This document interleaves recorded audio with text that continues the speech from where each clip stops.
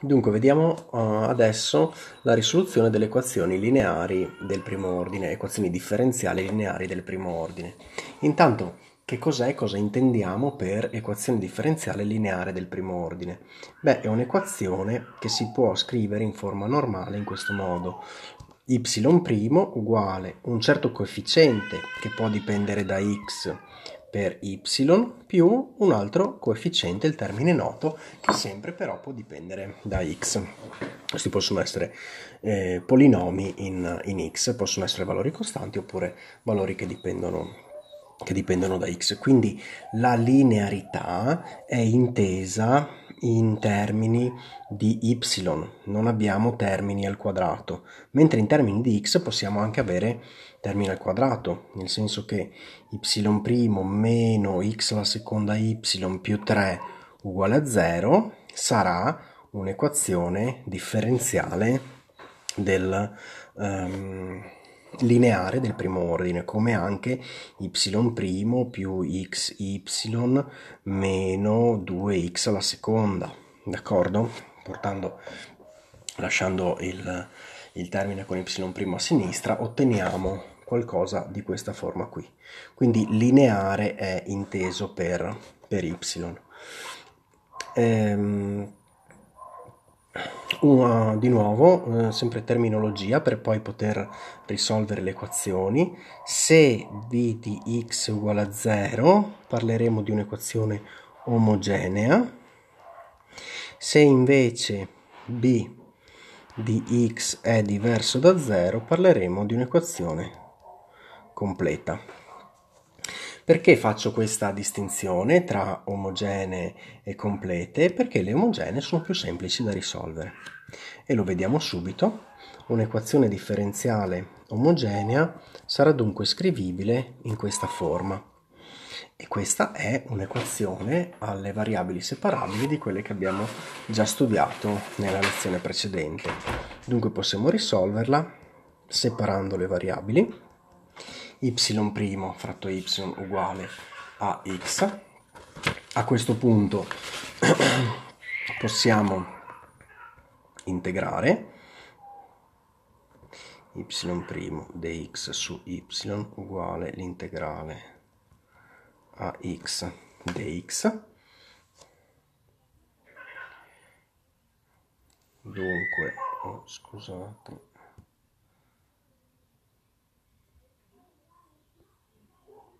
eccoci qua. Dunque dy su y uguale l'integrale di ax in dx dunque che cosa abbiamo? abbiamo il logaritmo naturale del modulo di y più c uguale l'integrale di ax in dx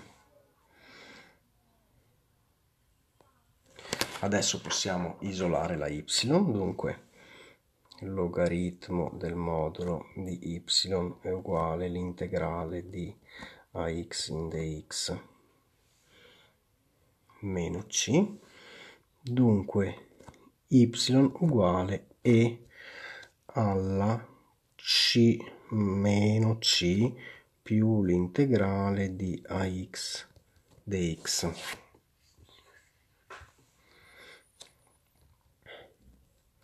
ecco allora che y è e alla meno c per e alla integrale di a alla i di, di ax in dx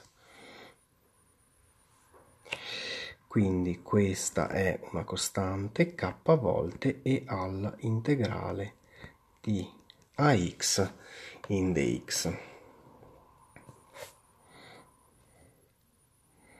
eh, se chiamiamo a grande di x la primitiva di ax dx solo per comodità per k volte e alla a grande x dx eh no scusate a grande x. Bene verifichiamo che questa è soluzione dell'equazione differenziale dunque y uguale k volte e alla a grande x e vogliamo vedere a che cosa uguale y'. y' è k volte e alla a grande x moltiplicato per la derivata di a grande, ovvero è k volte a x per a eh, conti errori e alla a x moltiplicato per a piccolo di x questo non è nient'altro che y, dunque vedete y per ax, che è la nostra equazione differenziale di partenza. Se l'equazione invece non è omogenea, dunque y' uguale a x y più bx, come si risolve? Si parte da y uguale k e alla ax. Cioè si parte dalla soluzione dell'omogenea associata. y uguale a x per y' uguale a x per y è detta l'omogenea associata. Si parte da questa e si considera y uguale non un valore costante, ma come se k fosse una funzione. Questo procedimento è dovuto a Lagrange, si parla di metodo di variazione delle costanti, perché? Perché, risol- costanti, perché risolvo l'omogenea associata e poi faccio, considero la costante come se fosse una, una funzione oppure appunto metodo di Lagrange. Dunque, y uguale a y' uguale a x y più b x si parte da y uguale kx e alla a grande x dove grande X è una primitiva di, uh, di A piccolo. Mm. E dunque vado a derivare y' a che cosa è uguale? a k' x e alla ax più k x per la derivata, quindi e alla a x per la derivata di a grande che è a piccolo.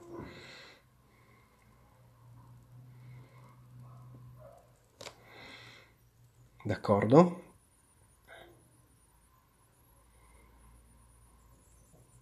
Dunque a questo punto sostituisco nell'equazione differenziale di partenza questa espressione e avrò k'x e alla ax più kx e alla ax a piccolo x.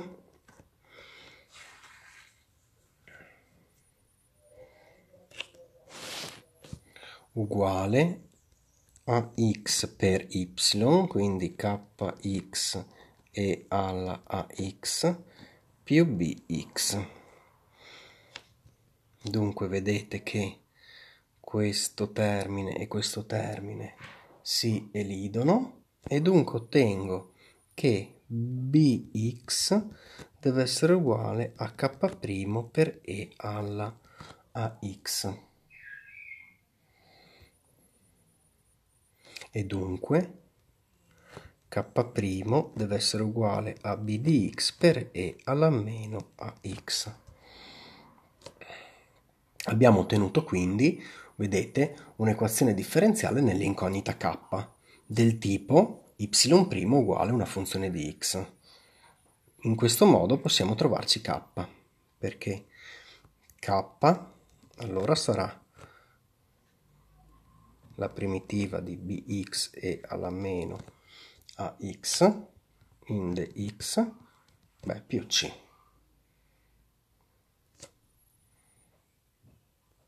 Dunque, se k è di questa forma, allora y uguale kx e alla ax è soluzione della nostra equazione. Dunque y uguale e alla ax che moltiplica l'integrale di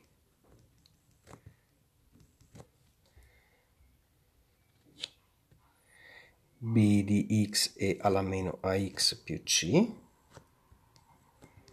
è soluzione di y' uguale a x y più bx. Questo è quindi l'integrale generale, perché abbiamo la, la costante, espresso in forma ehm, così eh, indipendente da chi siano ax e bx della nostra equazione differenziale. Dunque, ogni qualvolta ci ritroviamo di fronte all'equazione differenziale, a un'equazione differenziale lineare, possiamo possiamo ripetere il procedimento, quindi risolvo l'omogenea associata e poi k diventa kx metodo di variazione quindi eh, sostituisco trovo la, trovo la derivata la mh, mm, derivata la mh, mm, sostituisco, scusate, sostituisco k con kx. A questo punto faccio la derivata, la inserisco nell'equazione originaria, trovo una condizione per k' e con la condizione per k' ricavo quanto deve valere k. Oppure mi ricordo l'integrale generale che abbiamo detto essere e alla primitiva di a piccolo che moltiplica primitiva di e alla meno a grande più c, che è quello che abbiamo scritto precedentemente.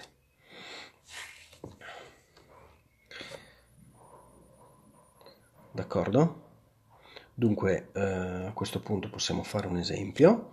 Prendiamo pure, eh, prendiamo pure l'esempio del vostro libro, y' più y su x uguale a x con x maggiore di 0 o proviamo non a non a applicare la formula ma a, a, utilizzare il metodo di variazione delle costanti perché come al solito se ci ricordiamo l'algoritmo o un metodo ci sarà più facile risolverle mentre se ci impariamo la formula a memoria ce la ricorderemo una settimana e dopodiché ce la saremo dimenticata quindi mi scrivo l'omogenea associata. L'omogenea associata è un'equazione a variabili separabili, quindi avremo y' su y uguale meno 1 su x. Dunque l'integrale di y su y uguale meno 1 su x dx dunque logaritmo del modulo di y più c è meno logaritmo del modulo di x.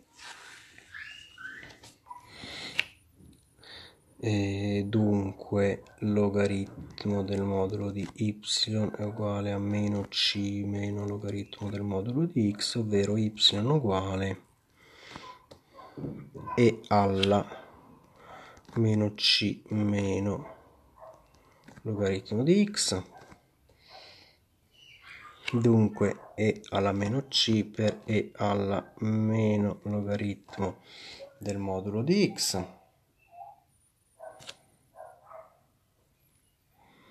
Dunque k. Per 1 su modulo di x, ovvero x, perché eh, abbiamo x maggiore o uguale di 0.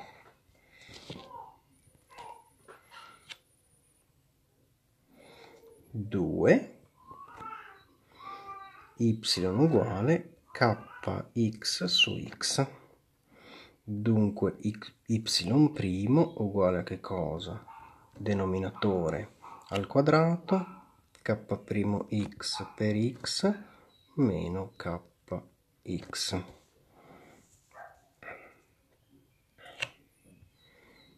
Dunque k'x su x meno kx su x al quadrato. A questo punto sostituiamo, quindi al posto di y' mettiamo k'x su x meno kx su x quadro più y su x, cioè kx su x quadro uguale a x. Questi due termini se ne vanno e dunque abbiamo k'x uguale x quadro, ovvero kx uguale x terza terzi più c.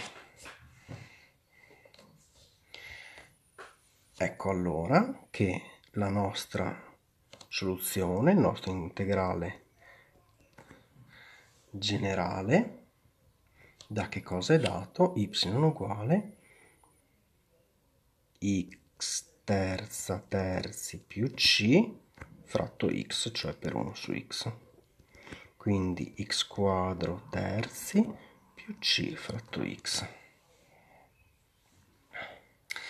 Ecco un esempio con il, il metodo di, uh, di, variazione, uh, di, variazione, delle costanti passo passo, altrimenti possiamo, um, possiamo uh, applicare direttamente la formula, la formula generale. Un'unica cosa su cui forse sono andato ehm, su cui forse sono andato eh, veloce è questa, questo passaggio qui da sottolineare dove è sparito il modulo di y. Eh, ho preferito uh, sorvolare su questo, ci soffermiamo adesso per fare una sottolineatura che, che può essere, mh, mm, anzi che è interessante, che è importante. Dunque qui vedete abbiamo logaritmo del modulo di y uguale, questo vale sempre, mh, mm, meno c nel caso generale, facciamolo col, col, caso generale perché anche nel caso generale sono... Uh, sono andato velocemente e ve l'ho eh, diciamo volutamente eh, passato questo termine qui, eccolo qui, eh, quindi è a grande più a grande.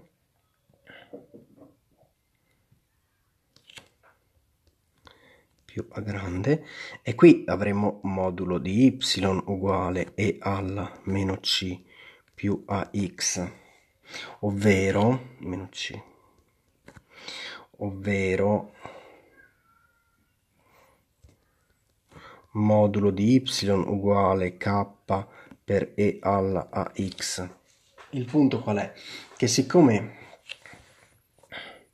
eh, questo sarebbe y uguale più o meno k e alla ax. A questo punto noi possiamo dire che assumiamo come k una qualsiasi costante reale e dunque non ci serve scrivere più k o meno k.